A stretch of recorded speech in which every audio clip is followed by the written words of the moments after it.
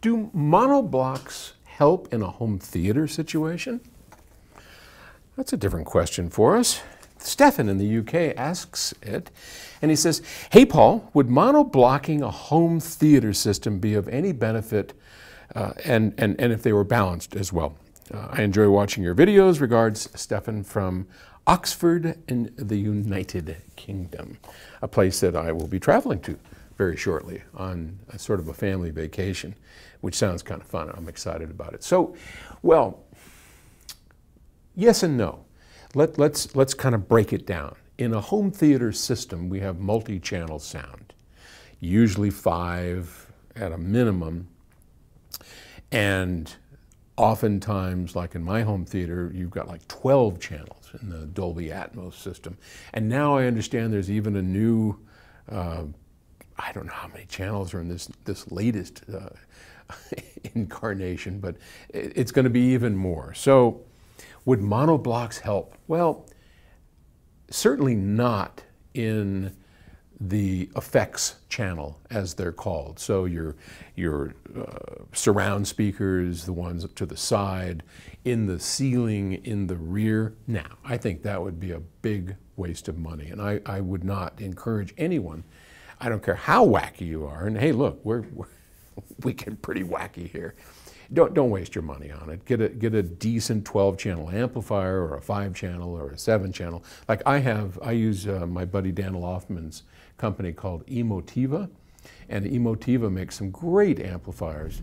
And uh, I, I, use his five channel and, our and his seven channel to create my 12 channels.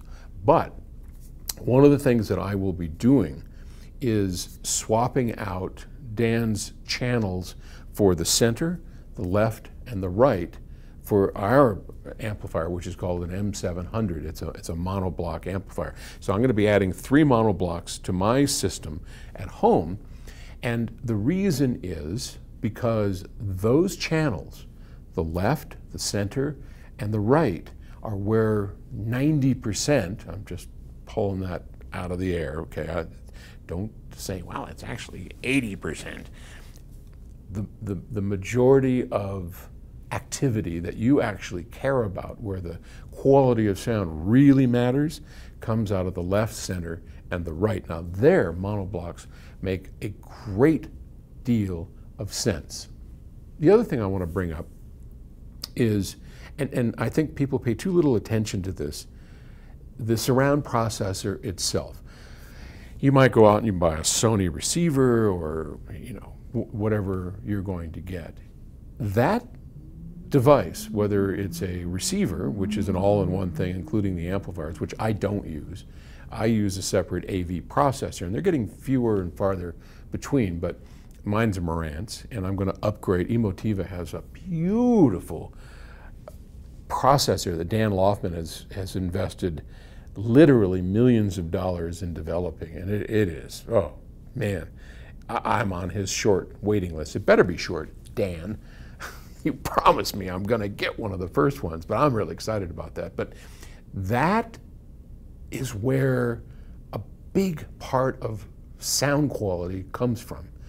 And in my, I, I carefully chose that Marantz, and I went through a whole bunch of, of different AV processors because inside of a processor, not only do you have the steering, which is the Dolby or THX, whatever kind of steering mechanism you're going to have to separate the, from the data stream all the various channels. And when they say steer it, they're, they're talking about the logic that puts it over to the top channel or to the side channel or the rear channels or the subwoofer, right? And once that digital signal is steered in the right direction, then it has to go through a D to A converter. And, well, I mean, look, this is what we do. We make D to A converters and transports, and I know the importance of a good D to A converter. It is critical. And if I could, I would take, you know, six of our DirectStreams and line them up in my home theater and use those. But it's just out of the question from a practical standpoint. I mean, uh, even getting the digital out is difficult. So that said, you want to pay attention to your surround processor. And then once you have the best surround processor you can get, go balanced. My whole system is balanced, and I would recommend it for you as well. And make sure that the left, the center, and the right loudspeakers are powered with as much and as good of a monoblock amplifier as your budget will allow because you will not regret it. Oh, and don't forget the subs.